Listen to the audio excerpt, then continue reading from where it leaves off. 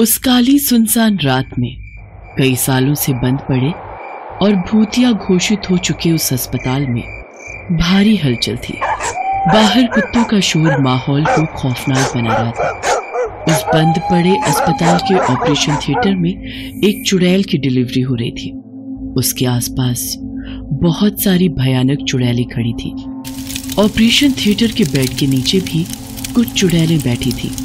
और वे चुड़ैलें जलती हुई आग के सामने कोई मंत्र बुदबुदा रही थी। जिस चुड़ैल की डिलीवरी होने वाली होती थी, उसकी आँखें अंगारे की तरह लाल थी। उसे दर्द तो बहुत हो रहा था, लेकिन उसने अपने दर्द को दबा रखा था। इस दर्द के उस पार मुक्ति होगी, मुक्ति। कुछ देर बाद अचानक से जलती हुई आग बुझ गई। उसके बाद वो सारी चुड़ैलें, जिस चुड़ैल की डिलीवरी हो रही थी, उसके आगे खड़ी हो गई। बाहर कुत्तों के भौंकने का शोर और भी बढ़ गया था। लेकिन फिर सब कुछ खामोश हो गया और एक बच्ची के रोने की आवाज़ आने लगी। मुक्ति आ गई मुक्ति, बहन आ गई मुक्ति, तेरी बेटी आ गई। मेरी बेटी मुक्ति, रोना तुम्हें नहीं, किसी और को है। इस घटना के कुछ दिनों के बाद की बात है। रात के साढ़े ग्यारह बज रहे थे। मायागंज में रहने वाला सूर्या अपनी कार से उस सुनसान सड़क के रास्ते अपने घर वापस लौट रहा था। तभी उसके मोबाइल की घंटी बजी।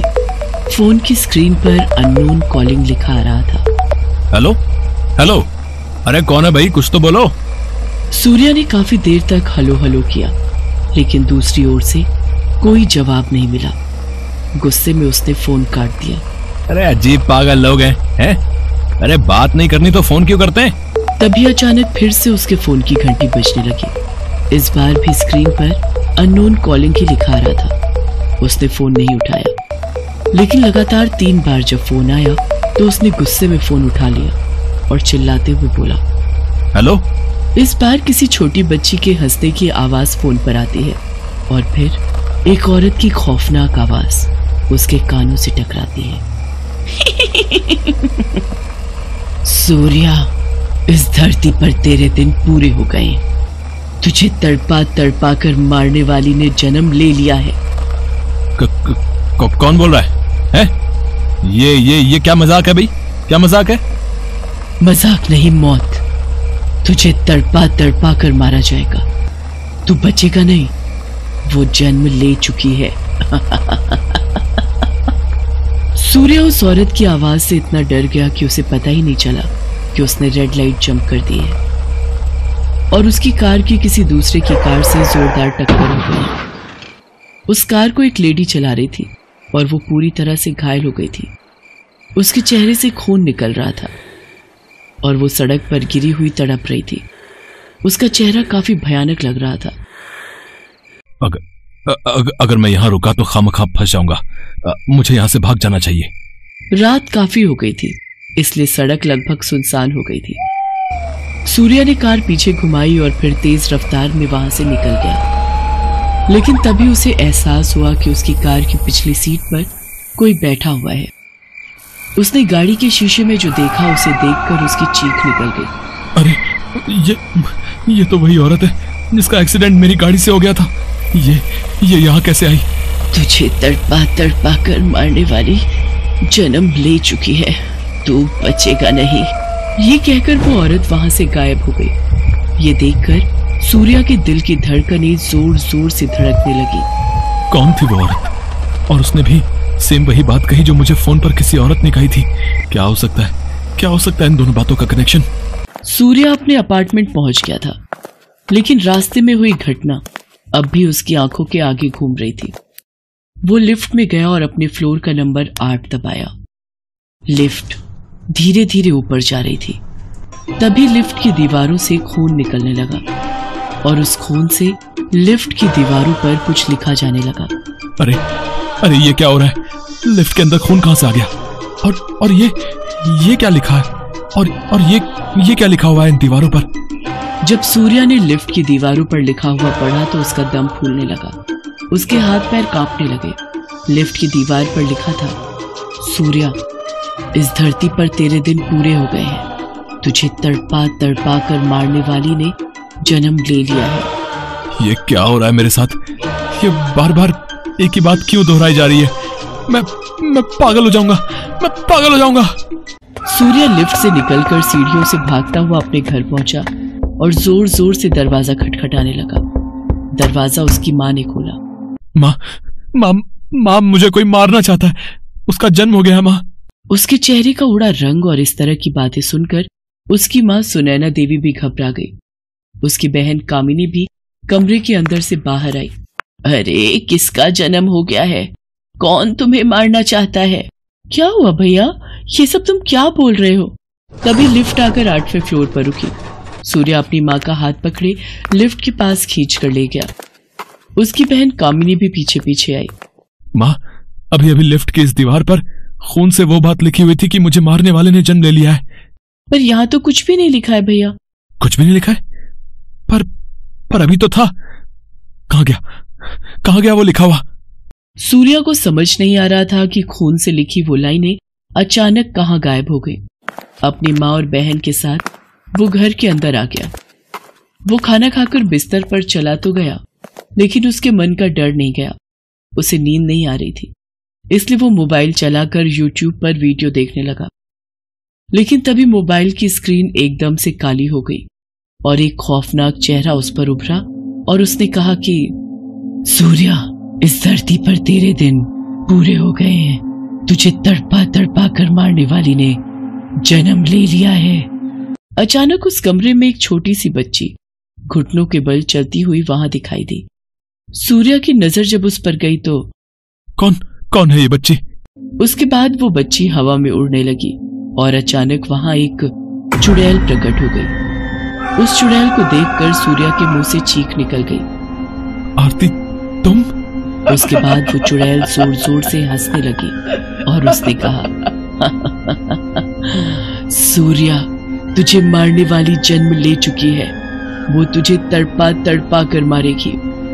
उसके बाद वो छोटी सी बच्ची सूर्या के गले पर चढ़ गई। और उसकी गर्दन में अपने दांत गड़ा दिए। सूर्या दर्द के मारे चिल्ला उठा।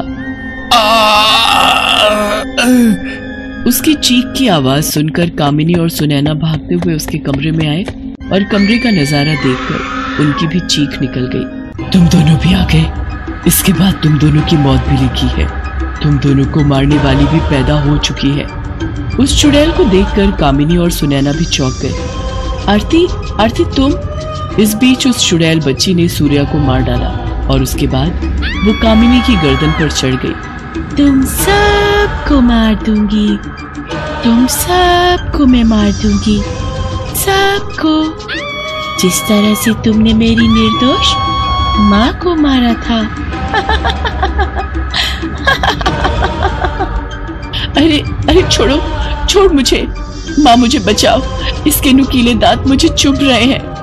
तुम लोगों को आज कोई नहीं बचा सकता। कोई नहीं। अरे, तुम लोगों ने मेरी माँ को करंट लगाकर इसलिए मार दिया क्योंकि वो मुझे, यानी एक लड़की को जन्म देने वाली थी। मेरी माँ के लाख मना करने के बाद भी तुम लोगों ने उसका टेस्ट करवाया और जब पता लगा कि मैं कोख में हूँ तो साजिश के तहत मेरी माँ को मार डाला और उसकी हत्या को दुर्घटना साबित कर दिया। अरे तुम जैसे राक्षसों को जीने का कोई हक नहीं।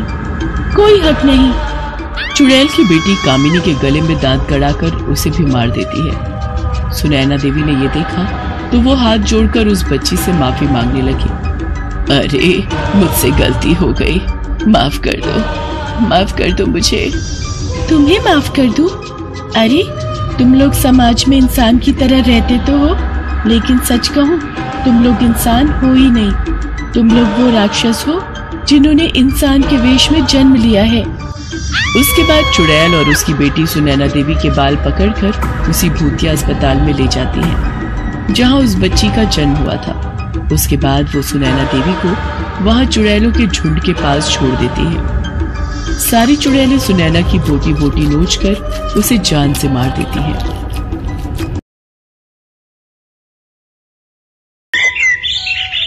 ये कहानी है जमालपुर में रहने वाले राजकुमार और उसकी सात साल की बेटी सुगंधा की। राजकुमार अपनी बेटी को जान से भी ज़्यादा प्यार करता है। सुगंधा भी अपने पापा के बिना नहीं रह सकती है। हर दिन की तरह राजकुमार ऑफ़िस से आकर सुगंधा के साथ बालकनी में बैठा है और उससे बातें कर रहा है। वे दोनों आसमान की ओर देख रहे हैं। पापा, वो जो ऊपर आसमान में सबसे चमकीला तारा है, वही माँ है ना मेरी? हाँ बेटा, वही तुम्हारी माँ है। दिव्या नाम है तुम्हारी माँ का। वो इतनी ऊपर क्या कर रही है पापा? वो रोज ये देखती है कि कहीं उसकी बेटी को कोई तकलीफ़ तो नहीं है कोई उसे परेशान तो नहीं कर रहा। पर पापा माँ तो ये काम यहाँ रहकर भी कर सकती थी ना? उसकी बातों को सुनकर राजकुमार की आँखों में आँसू आ गए लेकिन उसने झट से पूछ लिया पापा मैंने उन्हें कभी देखा नहीं फिर भी उन्हें मेरी इतनी चिंता है वो इतना प्यार क्यों करती है मुझे? माँ ऐसी ही होती है बेटा वो रहे या ना रहे पर कभी अपने बच्चों को अकेला नहीं छोड़ती कभी नहीं छोड़ती। किसी भी परिस्थिति में किसी भी हालत में अब अपने पापा से बातें ही करती रहोगी या उन्हें थोड़ा टाइम दोगी ताकि वो किचन में जाकर अपनी प्यारी सी बेटी के लिए आलू के गर्मा गर्म पराठे बना सकें। पराठे? हाँ पापा जोरों की भूख लगी है मुझे। आप बनाइए पराठे मैं यही माँ से बातें करती हूँ। उसकी बातों को सुनकर राजकुमार ने सुगंधा को गले से लगा लिया। आई लव यू पापा। आई लव यू टू बेटा। राजकुमार किचन में चला गया और सुगंधा वहीं बालकनी में बैठी रही। माँ, तुम मुझे बहुत प्यार करती हो ना? क्या तुम मुझे पापा की तरह गले लगा सकती हो? ये कहकर पता नहीं उसे क्या हुआ। उसने अपनी बाहें खोली, लेकिन उसका पैर फिसल गया और उन्नीसवी मंजिल की अपनी बालकनी से वो नीचे गिरने लगी। उसने उस समय अपने पापा को ज़ोर से आवाज़ लगाई, पापा पापा मुझे बचाओ, पापा मुझे बचाओ। राजकुमार ने जैसे ही अपनी बेटी की आवाज़ सुनी, वो भागा भागा बाहर आया और उसने अपनी बेटी को नीचे गिरते देखा। उसके बाद पता नहीं क्या हुआ, वो भी नीचे कूद गया और अपनी बेटी को हवा में ही लपक लिया। पापा पापा। दोनों बहुत देर तक हवा में ही लटके रहे। जिसने भी ये घटना देखी, उसने दांतों तले अपनी उंगली दबा ली। ये तो चमत्कार है, चमत्कार। कुछ देर वो हवा में लटके रहे, फिर वो धीरे धीरे नीचे आने लगे। उन्हें ऐसा लग रहा था जैसे कोई उन्हें अपने हाथों में पकड़कर नीचे ला रहा है। सुगंधा अपने पापा को आश्चर्य से देख रही थी और राजकुमार मुस्कुराते हुए सुगंधा को देख रहा था। पूरे शहर में इस घटना की चर्चा हो रही थी। सभी बाप बेटी के इस प्यार के बारे में बातें कर रहे थे। अगले दिन पापा, आप कहते हैं कि माँ मुझे बहुत प्यार करती है, लेकिन आप गलत हैं। इस दुनिया में सबसे अधिक प्यार आप मुझे करते हैं। तभी तो अपनी जान की परवाह किए बिना आपने उन्नीसवी मंजिल से मेरे लिए छलांग लगा दी। उसकी बातों को सुनकर राजकुमार की आँखों में आँसू आ गए और वो अपनी बेटी से पुरानी बात बताने लगा। आज मैं तुम्हें, तुम्हारी माँ की एक बात बताता हूँ। सात साल पहले जब सुगंधा को जन्म देने का वक्त आया तब राजकुमार की पत्नी दिव्या के मन में अजीब सी बेचैनी उठ रही। वो बार बार अपने पति से कहती राजकुमार पता नहीं आजकल मेरे मन में एक डर सा बैठ गया है। डर? कैसा डर दिव्या? मान लो डिलीवरी के समय अगर मुझे कुछ हो गया तो मैं अपने अंदर पल रही नन्ही सी जान को कैसे प्यार करूँगी? ये तुम कैसी बातें कर रही हो दिव्या? भला तुम्हें कुछ क्यों होगा? देखना हम दोनों मिलके अपनी होने वाली संतान को प्यार देंगे। बहुत सारा प्यार। धीरे धीरे दिव्या की डिलीवरी का समय नज़दीक आ गया। उसे अस्पताल में भर्ती कराया गया और उस रात डिलीवरी के समय सब कुछ गड़बड़ हो गया। वो दर्द से चीख रही थी। डॉक्टरों के चेकअप के बाद सब कुछ क्रिटिकल हो चुका था। अगर औज़ार के ज़रिए वो अपने अंदर पल रहे बच्चे को खत्म करवा सके तो मुमकिन है कि उसकी जान बचाई जा सके। ये बात सुनकर दिव्या को ऐसा लगा जैसे किसी ने अचानक ही हज़ारों किलो का पत्थर उसे दे मारा हो। उन नौ महीनों में उसे जिस प्यार का अनुभव हुआ था, उस अनुभव ने उसे सोचने पर मजबूर कर दिया और एक ही पल में सारा निर्णय इस आधार पर बदल गया। डॉक्टर साहब नौ महीने तक इस बच्चे का इंतज़ार उसे मारने के लिए नहीं किया था। आ, आ, मैं माँ हूँ उसकी। मैं ये कभी नहीं कर सकती कभी नहीं।